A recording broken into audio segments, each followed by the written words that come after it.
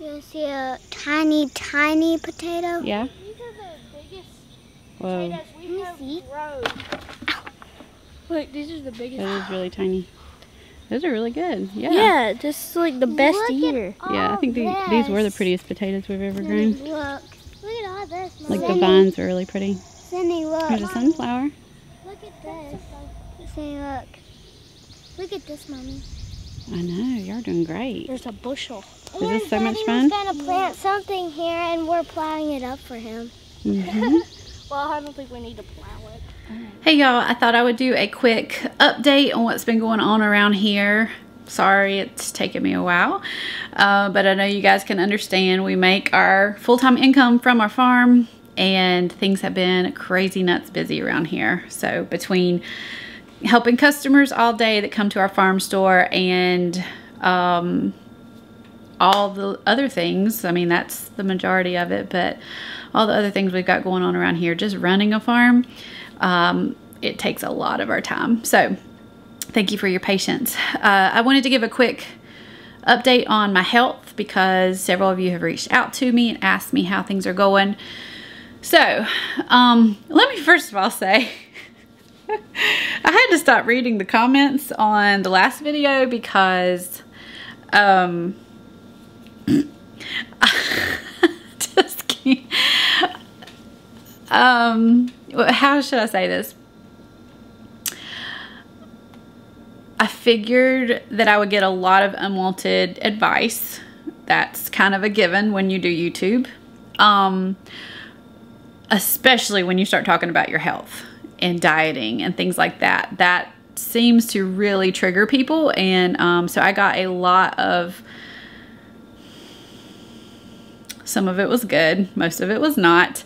Um, advice, or I don't know if I'd call it advice. It was more of like, like, did you even watch the video? I think I think they just saw car- uh, carnivore diet in the in the um, title of the video, and then they didn't even watch the video and just gave me a bunch of blah from um, you know about carnivore, either pro or con. So um, most people were pro carnivore, but they were like super.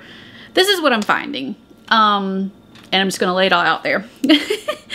I'm finding that there is very little middle ground out there as far as these health concerns, fad diet kind of things go. Um, I am personally very comfortable with um, seeing my holistic doctor who I trust uh, and talking with him about all things nutrition and, um, you know, supplements and all of the things. And, um, you, I mean, I'm just such an advocate for you finding what works for you. You know, we are all such individuals that I don't believe at all that we are one size fits all when it comes to dieting, um, when it comes to our health issues. Um, yeah, like something may work for you, it may not work for me. Something may work for me, it may not work for you. And that's just the way it is. So um, that's all I'm gonna say about that. Um, thank you for the people that who who genuinely want to help. Um, I appreciate those, but like I just can't get behind the you know all all food is evil um, unless it's what I do, you know, or, you know, all diets are evil unless it's the diet I'm on. And um, that is a lot of what I saw when I posted the last video. So, that being said, um, let's see. I've had several people ask me, so I just want to kind of talk to you like I'm talking to one of my friends who's asked me um, about my diet and how it's going. So I am not doing carnivore strictly at this moment. Um, I talked to my doctor and he is um, he's very comfortable with me adding in vegetables. Um, he wants to caution me about carbs and about sugar and I completely think that's warranted. Like I, I've done enough research on my own to know how sugar, especially, wreaks havoc on a body, and um, and that carbs are really not my friend. So I'm trying to be careful. I'm not being like so super strict because here's what happens with me.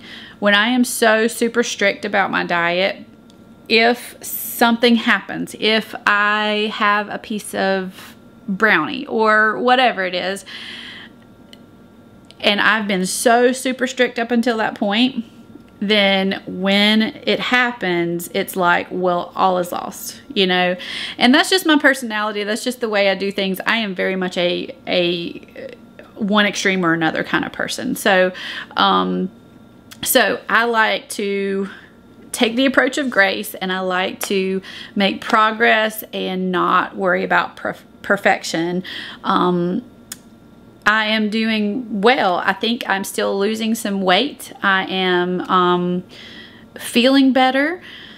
Um, anytime, I know personally with me, anytime I am having um, any kind of carbs, really, I mean, let me put it this way. Anytime I'm eating bread of some sort, even if it's homemade bread, or I'm having sugar, of some sort, um, it does not sit well with me.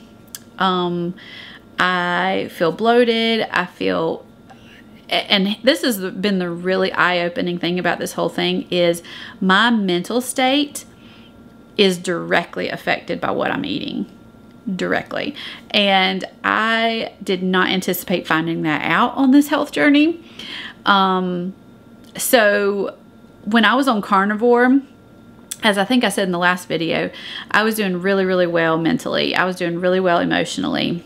But let me tell you, off of carnivore, or at least off of keto, which is pretty much what I'm doing right now, um, negative thoughts, negative thought patterns that just continue day after day, um, lots of hormonal issues, up and down, um, emotionally, all of those things tend to be more prevalent. So, that being said, um, I'm doing my best to make progress and to be consistent with my diet um, with grace. So, um, yeah, so we're doing we're doing well. Um, I'm feeling pretty good. I'm just having to be more mindful about what I'm consuming. And that's a good thing, y'all. Like, I'm not, I don't want to do this video and be like, I am on this horrible diet that I hate. Like, I feel really good when I'm eating well, and that's worth it to me um, to be very present and, um, emotionally and mentally sound for my family is like so worth it. So, um, so that's where we're at. In other news, we um, have started putting up a second high tunnel. It is a grant high tunnel. So Adam applied for a grant um, for one probably two, maybe even three years ago. It's been a while.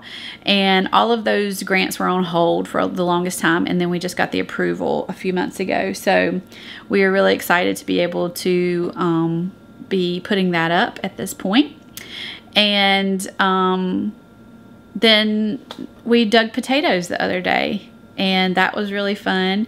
We um, got, you know, got in the dirt, got our feet in the dirt, got to, um, that's like the most fun thing that we harvest. If you have not harvested potatoes, you're missing out. Um, it was just, it was just a lot of fun. It's like treasure hunting. So the kids and I had a lot of fun doing that. Adam, Adam and I did it for a while the other day and then the kids joined us. So um, yeah, that is about all for today's update. I hope that you guys are doing well. Um, please leave us a comment and let me know how you're doing. Um, I try to read them unless I get a bunch of negative ones and then I just kind of like, all right, I'm done for the day. So I hope you guys can understand that. But um, the nice comments that we get and the encouraging comments that we get um, make it worth it for sure. So I hope you guys have a good day and I'll catch you next time. Bye.